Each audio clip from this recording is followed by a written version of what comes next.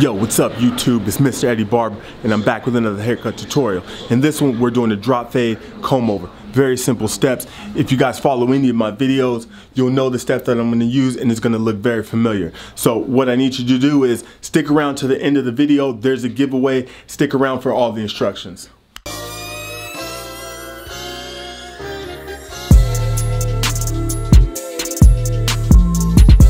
First, we're gonna start off with our 5-0 blade and we're balding it out up into that line. Of course, if you guys follow my tutorials, you know that I always start off with the 5-0 attachment to bald out. We're no longer in 1943 in segregation and we're no longer balding out with our trimmers. It's time to get past that, guys. But of course, I'm also gonna use my fade scale here. I know some of you guys hate it, but uh, you're here to learn. So, we're still balding out with our 5-0 attachment. And I learned this technique in the southern hemisphere of the United States of America in the deep south of Texas. So if you look here closely on the face scale, that's where I've learned this technique to bald out with my 5-0 blade.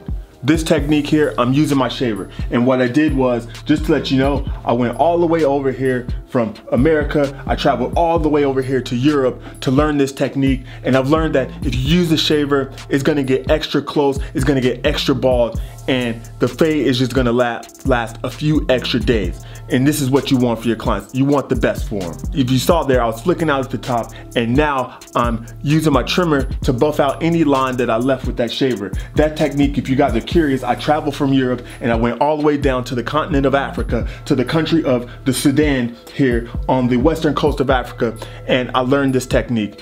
So now I have my two blade on my detachable and I learned this technique here all the way in the deep heart of China. I had to study under different monks and different sifus to learn this technique. And what this does is this allows you to see a lot clearly in your fade versus then fading into bulks of hair. So I just use my two blade to reduce the bulk there. Now I will put my Andis Envies with the lever open and I'm creating a one inch guideline. This technique here, I had to travel from China and I had to go all the way back to America. So if you see here on the fade scale, here's China. I went all the way back over here and traveled to America to learn this technique.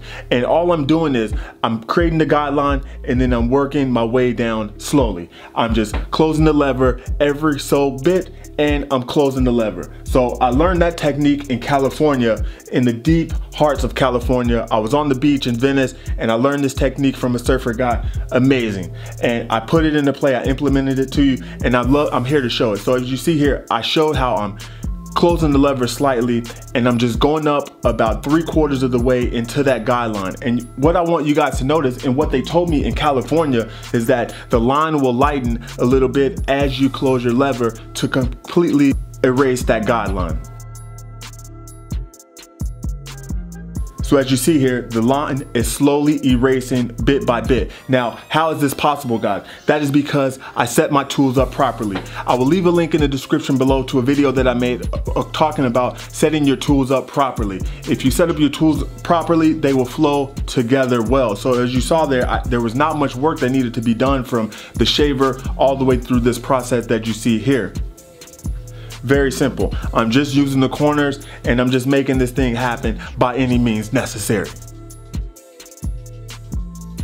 Now, of course, with this technique, what you wanna do is you wanna make sure that you're finished with this process before you move on to the next step that you see here. And I've got my Wahl one guard with the lever open and I'm creating a one inch guideline above that. And if you're curious, for this technique, I had to go to the northern hemisphere and travel into the deep cold of Canada. I had to go all the way to, to uh, Saskatchewan. I hope I'm pronouncing that correctly, but I went all the way to Saskatchewan to learn this technique. They told me that if you go in with the one guard, with the lever open, right above where you leave off with the open, it will set you up for success. And that's what you're seeing right here.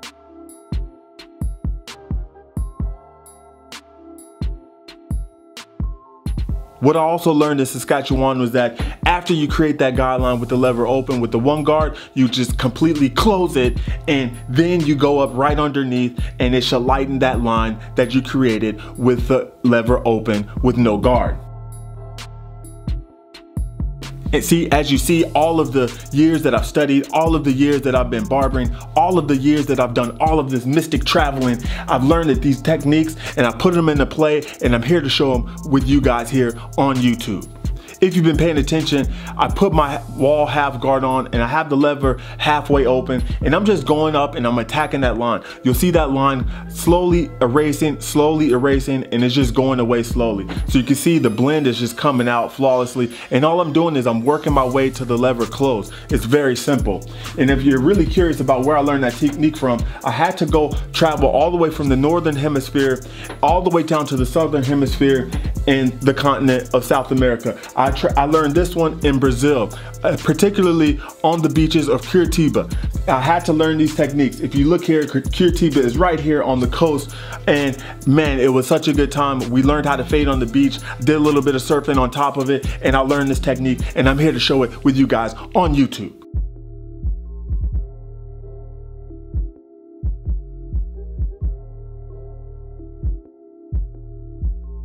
So now I have my Wahl one and a half guard with the lever open, which is essentially a two, which is essentially the equivalent almost of the two blade, but I'm just going up to his parietal ridge and I'm just going straight up off of the head. I'm not going into the curvature of his head. I'm paying attention and being mindful of head shape and contour. So I'm not trying to follow his head shape. I wanna make sure I just go straight up off of his parietal ridge and go straight up with that one and a half so now as you see here, I'm doing some clipper over comb to connect the short hairs to the long hairs. And all I'm doing is I'm put, bringing the comb up through the hair and I'm looking at any excess hair that I see in there and I'm basically getting rid of it. Zip, zip, zip, getting rid of it just like that. Zip, zip, zip. You see how easy that is? Now, if you guys are curious about clipper over comb, if you guys struggle with clipper over comb, I made a video about clipper over comb and I poured my heart and soul into it. It's a 30 minute video. If you guys are still struggling with clipper over comb, I highly suggest that you guys go check it out.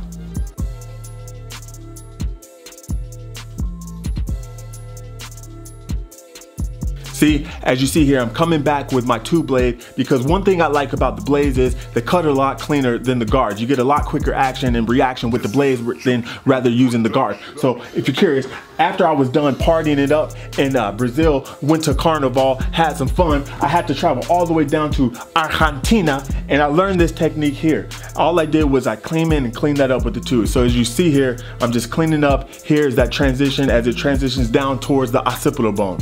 You See again, I'm going straight up off of his parietal ridge. And now, a word from our sponsors. Who the hell am I kidding? We don't have any sponsors. Get back to the damn tutorial. Here on the second side, you follow the steps on the first side. It's pretty easy to know what I'm doing now. So all I'm gonna do, I'm gonna I've just fast forward the video. You guys can just watch what I do and just make sure you follow the same steps. You'll see as I do this in a much faster speed, the steps are the same, the process is, is the same, and nothing changes. Now, what I had to do was I went from Argentina to Australia with all my mates I, I, went to the deep outback in the wilderness. I fought off crocodiles. I fought off snakes, kangaroos, wallabies, and all of that. And then I went and learned this technique here. And I'm just love showing this stuff on here with you guys on YouTube. Look, if you guys have any problems, if you have any questions, leave them in the comments below. I'm here to help you guys. I'm just here for you guys to learn. This is the YouTube Barber Academy. I'm Mr. Eddie Barber. I'm the coolest damn guy on YouTube. And this is why I'm here to help you. So as you see there quickly, the guide is gone. See there, same steps. One guard, lever open, one inch guideline. Easy money, easy to execute, easy simple steps to follow and for you to learn.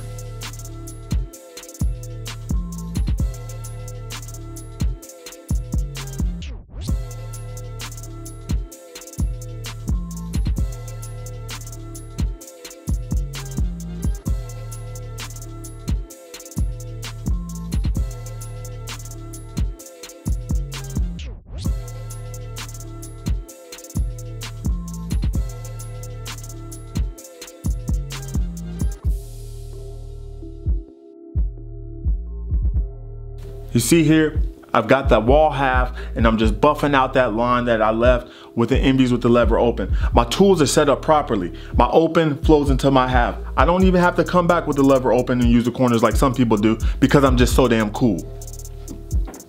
You see that? one and a half guard with the lever open, going up straight off of the parietal ridge.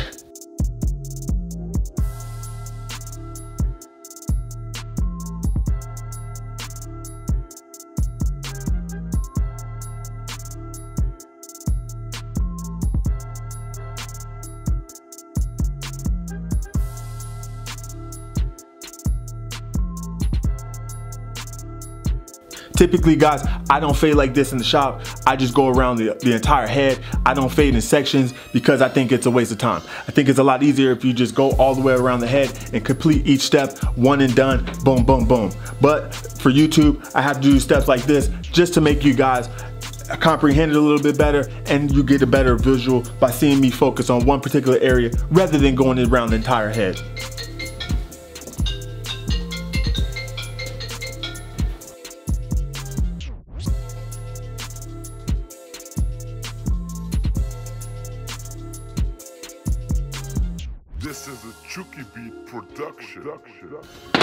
I apologize. Someone was trying to call me. They're trying to ruin your learning experience.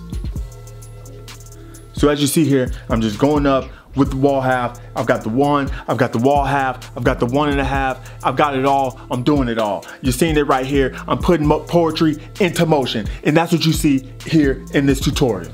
See, after I was done in Australia learning all of these good techniques, I traveled all the way up to Malaysia, to Cambodia, to Vietnam, to the Philippines, to everywhere, Indonesia, all of those Southeast Asian countries. I've went there, I've studied all these techniques, and I'm here to bring it to YouTube. Now, you see, I'm using my thinning shears just to connect the, the shorter hairs to the longer hairs. I could have used clipper over comb, but this is another alternative.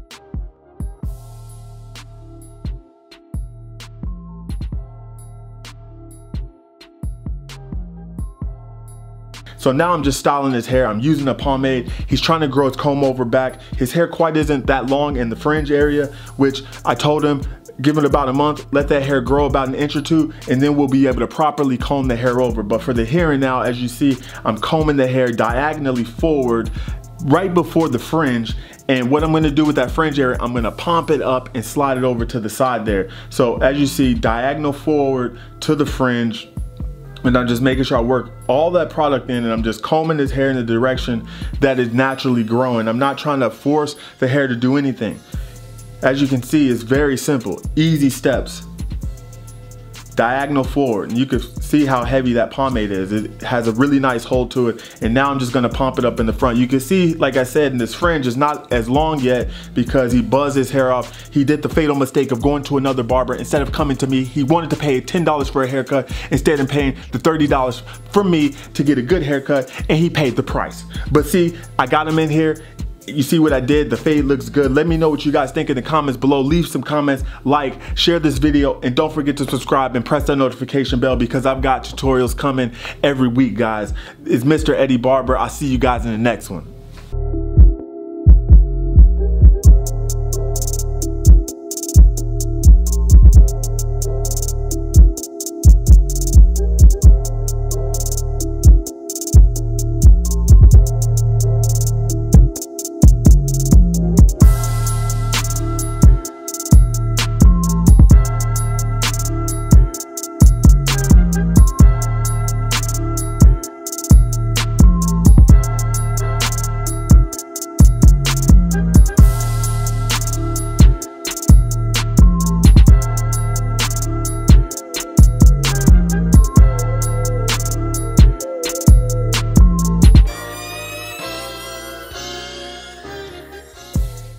The way the giveaway works is like this.